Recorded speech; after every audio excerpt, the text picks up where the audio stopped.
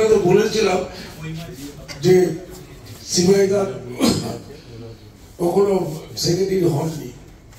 আমাদের টাকা দেওয়া হতো ওই দীপের দাস যখন যদি বলে দিত যে এবার টাকা দাও, তখন দুশো টাকা, তিনশো টাকা, চারশো টাকা এক এক খেপে দিত আর কি। তখন পেমেন্ট ছিল এক হাজার, দু হাজার।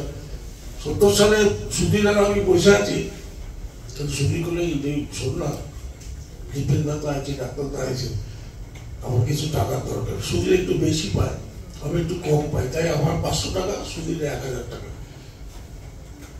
আমি সম্পদ দেখতো এসে আছে কিনা?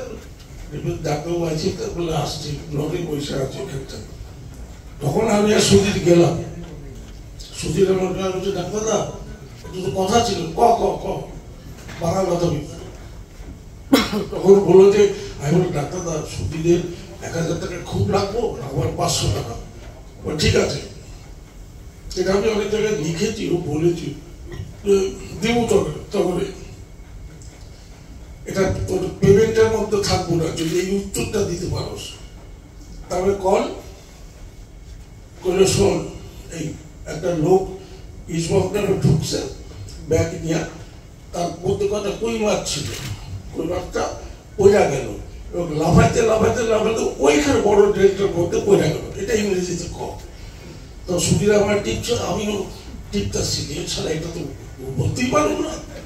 তখন সুধীর বলল, চ চ চ চ, টাকাটা দরকার নেই ছাড় ছাড় দাঁড়া না। আমি তখন হিসেবে শঙ্করে শঙ্কর একটা বল নিয়ে আসো তো। শঙ্কর বল নিয়ে আসে। আমি ডাক্তার ধরে কইলাম যে বলটা ধরে। এটা পাঁচবার এরকম পায়ের মধ্যে নাচা আমরা এই বছর বিনা পেমেন্টে খেলো বলে এটা করে? আপনি ডাক্তার, এত বড় ডাক্তার। আমার আমাদের বলটা দিয়ে দেবো আমরা গ্রামে বলে, খুব ভালো তখন ছিল ডাকলো যে, ওদের পাঁচশো টাকা, হাজার টাকা দিও কিন্তু এটা ওই থেকে না, আমার তরফ থেকে এটা দেওয়া হয়।